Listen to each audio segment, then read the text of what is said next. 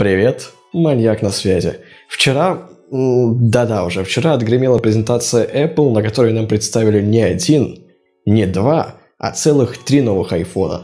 Какой подойдет именно тебе, расскажу в этом видео. Поехали.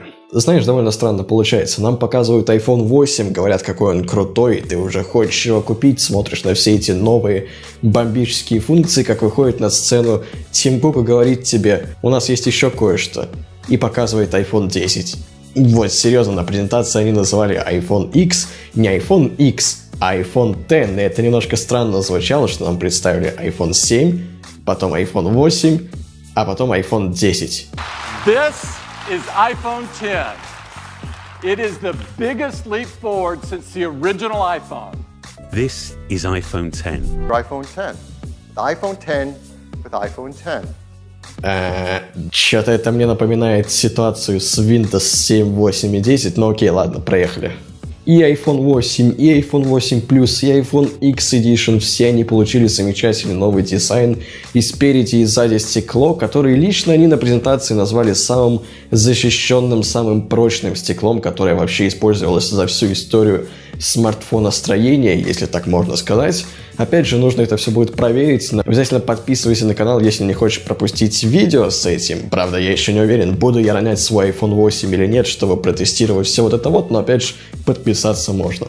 Разница только в том, что iPhone 8 и iPhone 8 Plus алюминиевая рамка по бокам, что несколько более практично, чем стальная, как это сделано у iPhone 8. Опять же, аналогия Apple Watch Sport и Apple Watch обычные. Если мы оглянемся на опыт Apple Watch, то мы заметим, что вот эта вот спортивная версия, у которой э, алюминий 7000 серии сплав – он практически не царапается, практически не коцается. Если же мы посмотрим на стальные часы, то они довольно быстро покрываются мелкими, но все-таки заметными царапинами, и это ну, нужно учитывать при покупке этого телефона. Также нужно понимать, что iPhone 8 есть один эксклюзивный цвет, которого нету в iPhone Edition. Это розовое золото.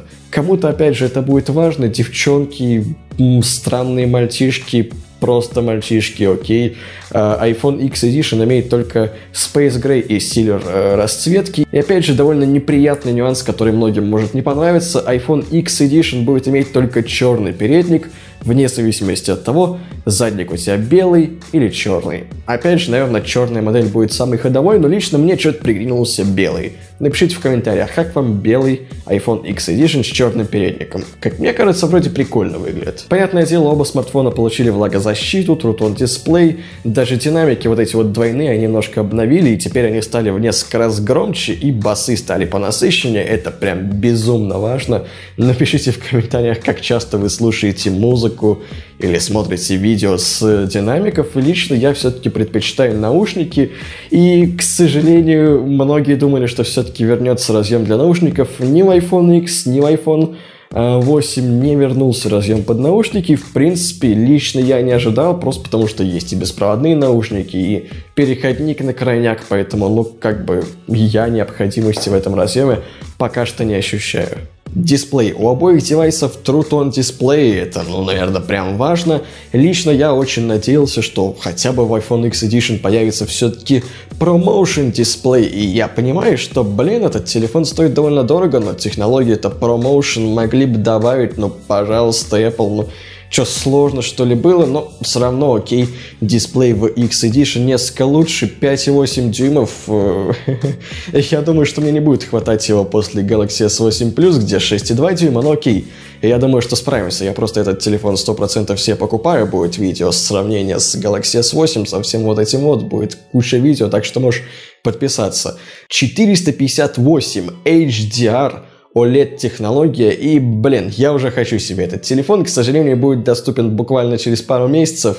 Нужно будет потерпеть, подождать, походить с Samsung эти пару месяцев, просто потому что iPhone 7 Plus свой замечательный я продал, но я думаю, что я выдержу с Samsung. Опять же, можете подписаться вот здесь вот на Twitter и больше узнавать моих ощущений от постоянного использования этого замечательного наверное, все-таки в кавычках Galaxy S8. Как же меня, блин, выбесил Apple на этой презентации все эти фишки с двойной камерой в новых айфонах, где ты можешь изменять там типа освещение, все дела. Да, это прикольно выглядит. Да, это, ну, наверное, будет хорошо работать, но, блин, Apple, почему нельзя это было немножко портировать на iPhone 7 Plus? Я понимаю, что это маркетинг и что ты хочешь, чтобы те больше смартфонов купили, но железо плюс-минус такое же. С железной части не особо там все поменялось, и можно было как-то это портировать на старые айфоны, но нет, это Apple. Тащи свою, сука, шкуру в Apple Store и покупай новый iPhone задорого.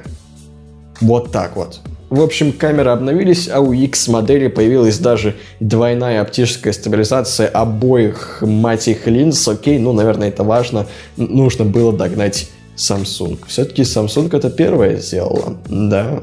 Новые айфоны теперь просто супер быстрые. Это знаешь, короче, они выпускают iOS 11, который замедляет предыдущие девайсы и поднимают iPhone X и iPhone 8 на уровень того же самого iPhone 7 Plus, как было на iOS 10. Это замечательная концепция, которой следует Apple. Ну, окей, если на самом деле говорить, то я надеюсь, что хотя бы сейчас, когда появился AR-кит, будет появляться в App Store все больше и больше приложений, которые будут задействовать весь потенциал твоего айфона, чтобы не было вот этого вот обилия все, всех этих фри-то-плейных говняных игр, которые запускаются даже, блин, на iPhone 2G.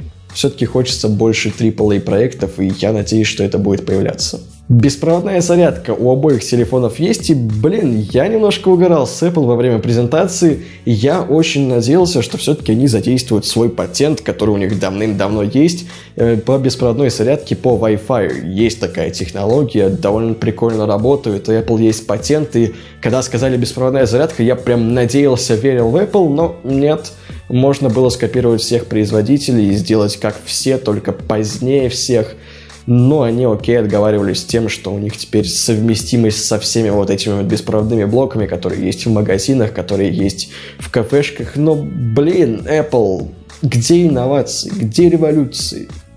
А? Face ID или Touch ID. Знаешь, довольно сложно все-таки сравнивать сейчас, просто потому что нужно попользоваться обеими технологиями и все-таки решить, что работает быстрее, проще, стабильнее и все вот это вот, все вот эти вот важные слова, которые говорят во всех этих сравнениях, все вот эти вот никчемные блогеры. Нормальные люди простым языком говорят, вот это лучше и не парься, короче. Так вот, я лишь скажу, что над Face ID Apple реально работал, он работает и в темноте, и распознает какие-то изменения твоего лица, и его можно разблокировать в очках, в шапке, в шарфу, вообще не важно как. Машинное обучение запоминает, как ты выглядишь, и каждые твои изменения подстраивается. И вот даже нельзя будет взломать с фоточки твоей, и даже с 3D-маски. Это, наверное, важно. Опять же, протестируем. Подписывайся на канал, и ты увидишь это сравнение Touch ID и Face ID. Опять же, довольно интересное, мне кажется, будет видео. Ты знаешь, где эта кнопка подписаться. Что тебе об этом рассказывать? Here is iPhone 10. Now, unlocking it is as easy as looking at it and swiping up. And, you know, let's try that again. Ho, ho, ho. Let's uh, go to backup here and get right in. Ну и, блин, все эти маски, все эти анимоджи, давай мы с тобой просто их не будем обсуждать, просто потому что это реально маркетинговые фишки, которыми ты не будешь пользоваться. Вспомни ты эту iOS 10 с фишками iMessage, ты благополучно перешел на свой WhatsApp, Telegram, Viber и другие мессенджеры и не паришься вообще. Ну и тем более, ну, Просто прикинь, сколько твоих знакомых и друзей купят себе этот iPhone X, чтобы пользоваться прям полноценно этой фишкой. Забудь об этом и не парься.